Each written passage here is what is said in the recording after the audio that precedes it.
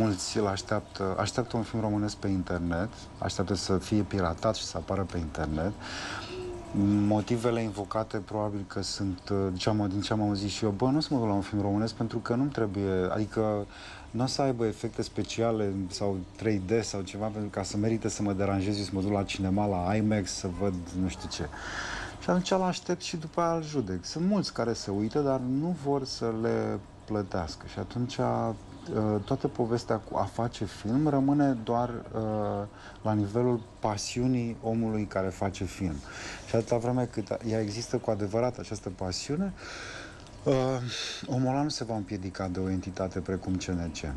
Adică, acum știu că vorbesc în numele meu, dar uh, sunt mulți oameni care gândesc care sunt în stare să-și uh, uh, să lucreze trei ani la un proiect, adică să organizeze aproape un an de zile filmările, mai puțin, dar după perioada de filmare vine postproducția, promovarea și așa mai departe și căutarea unor parteneri care să te sprijine și să facă cumva cunoscută munca ta.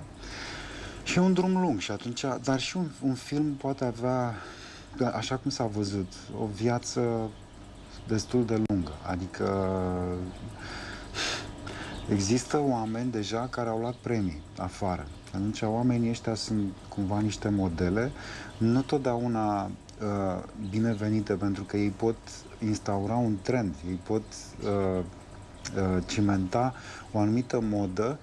Atunci pot să mă duc, sunt în sta- nu eu, vorbesc la modul general, ca tânăr filmmaker, da, mă duc la cinema, văd asta și zic, pot să fac și eu asta. E naturalism, e realism, ies pe stradă cu o cameră, filmez uh, niște oameni bătrâni care stau la coadă și după aia iau premiul la can. Lucrurile nu stau chiar așa și nu sunt așa simple. Dar asta e senzația pe care o lasă multe filme române și asta e capcana în care vor cădea uh, uh, mulți uh, oameni tineri.